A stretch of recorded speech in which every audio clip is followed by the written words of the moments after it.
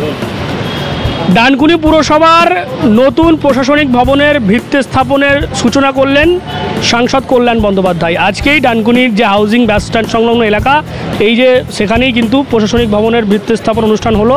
সেখানে একদিকে যেমন সাংসদ ছিলেন, তার পাশাপাশি বিধায়করা ছিলেন এবং ডানকুনি পুরসভার পুরপ্রধান হাসিনা শবনম, ভাইস চেয়ারম্যান প্রকাশ রাহা সহ যারা বিভিন্ন ওয়ার্ডের কাউন্সিলর তারা ছিলেন, সিআইসিরা ছিলেন। তাদের উপস্থিতিতেই এই যে ডানকুনি পুরসভার যে ভিত্তি স্থাপন সেটা হলো এবং যেমনটা আমরা পুরসভা সূত্রে জানতে পারছি, সাতষট্টি ডেসিবেল যে জমি দেখাবো এই বাদিকে, এই যে জমি সেই জমিতেই পুরো ডানকুনি পুরসভার নতুন ভবন সেটা স্থাপন হবে এবং পূর্ত দপ্তর থেকে যেমনটা আমরা জানতে পারছি, এক কোটি ছেচল্লিশ লক্ষ টাকা অ্যালটমেন্ট করা হয়েছে এবং এখানেই কিন্তু গড়ে উঠবে পুরসভার নতুন ভবন।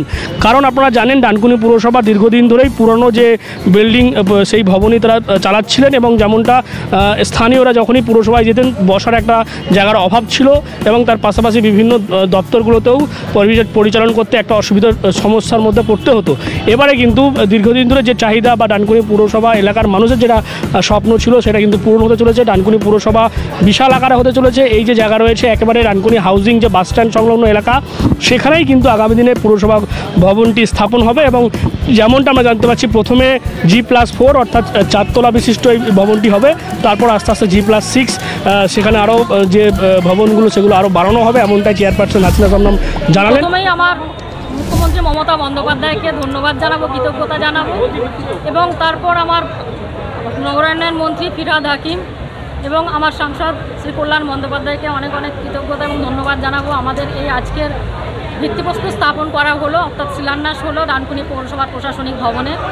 আমরা খুব ছোট্ট জায়গার মধ্যে প্রশাসনিক মানে ডানকুনি পৌরসভার কাজ কাজকর্ম করি। মানুষের পরিষেবা দিতে গেলে খুব অসুবিধা হয়। ছোট্ট জায়গাতে। তবুও কষ্ট করে এতদিন ধরে চলেছি। আমরা অনেক সমস্যার মধ্যেই পড়েছিলাম। আমরা এখন যে জায়গাটা পেয়েছি, সাতষট্টি ডেসিমেল জায়গা আমাদের পিডাব্লিউডি আমাদের ডানকুনি মিউনিসিপ্যালিটিকে হস্তান্তর করে দিয়েছেন এবং মাননীয় মন্ত্রী যেটা স্যাংশন করিয়ে দিয়েছেন, অর্থাৎ আমরা অ্যাডমিনিস্ট্রেটিভ বিল্ডিংয়ের সেটা অ্যাপ্রুভাল পেয়ে গেছি। এক কোটি ছেচল্লিশ লক্ষ টাকা।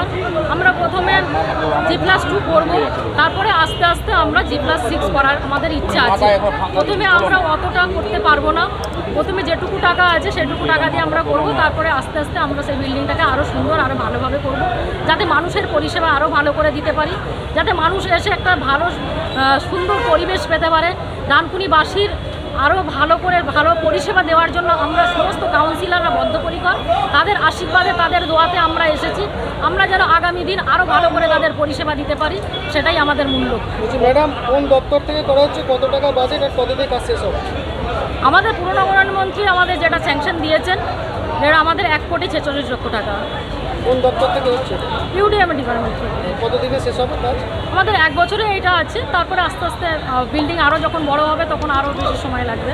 এখন আমরা প্রথমে ফার্স্ট ফ্লোর করে আমরা চলে আসব।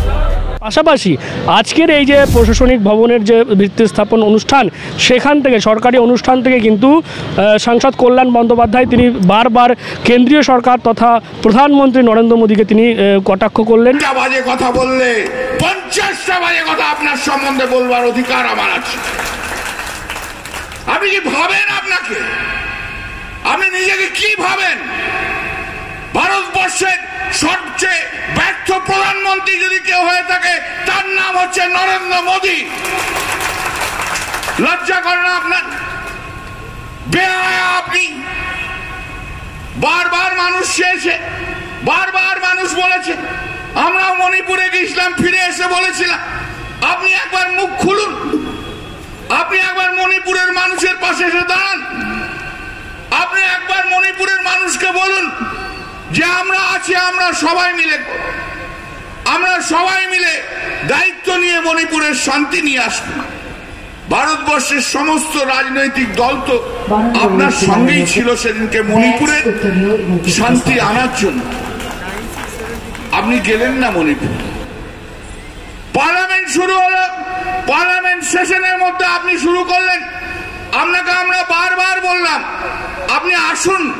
পার্লামেন্টে একবার আসুন একবার মণিপুর নিয়ে কথা বলুন। আমরা তো চাই সবাই মিলে মণিপুরের শান্তি আসুক।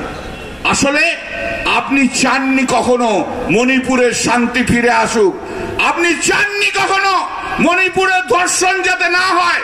আপনি চাননি কখনো মণিপুরে মানুষে মানুষের খুন যাতে বন্ধ হয়? তাই জন্য আপনি নীরব পতিতে পরিণত হয়েছেন আজকে। ডানকুনি যখন তৈরি হয় মিউনিসিপ্যালিটি তখন গ্রেড ডিতে মিউনিসিপ্যালিটি ছিল। আজকে গতবারের নির্বাচনের পর, আজকে এসে মানে মিউনিসিপ্যালিটি নির্বাচনের পর গ্রেড ডি থেকে গ্রেড সিতে ডানকুনি মিউনিসিপ্যালিটি আজকে এলিভেটেড হয়েছে অতএব এই কাজগুলো আবার ভালো করে হচ্ছে ডানকুনিতে। এবং যে জায়গায় অ্যাডমিনিস্ট্রেটিভ বিল্ডিংটি তৈরি হয়েছে জিওগ্রাফিক্যালি ভৌগোলিক অবস্থান থেকে নিঃসন্দেহে খুব ভালো। এবং আমি অনুরোধ করব, যারা এই কাজটা করছেন, যারা ইঞ্জিনিয়াররা আছেন বা যারা, আপনারা এমনভাবে একটা ডিজাইন করুন, এমনভাবে প্ল্যানটা করুন, যে আপনি যে জায়গাটাতে তৈরি করছেন সারা দিন ধরে, রাত্রি ধরে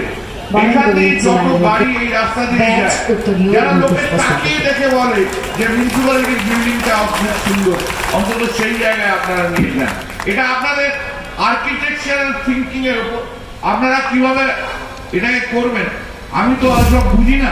সব মিলিয়ে আজকের এই সরকারি অনুষ্ঠানকে ঘিরেও রাজনৈতিক চাপানোতর যেমন তুঙ্গে, পাশাপাশি দীর্ঘদিনের যে একটা সমস্যা ছিল, ছোট জায়গাতে পৌরসভা পরিচালন করা হচ্ছিল, সেই জায়গায় দাঁড়িয়ে কিন্তু এবারে ডানকুনি পৌরসভা বিশাল আকারে হতে চলেছে এবং সাতষট্টি ডেসিবেল জমির ওপর এক কোটি ছেচল্লিশ লক্ষ টাকা বরাদ্দ করা হয়েছে এবং এক বছরের মধ্যেই এই যে পরিকল্পনা সেটা বাস্তবায়িত হতে চলেছে, এমনটাই জানিয়েছেন ডানকুনি পুরসভার চেয়ারপারসন হাসিনা শবনম। আপনারা কি বলবেন এই বিষয় নিয়ে? কমেন্ট করবেন, কমেন্ট বক্সে এরকম আরও খবর পেতে নজর রাখবেন ডিএনএন বাংলায়। বাংলার খবর বিশ্বের দরবারে।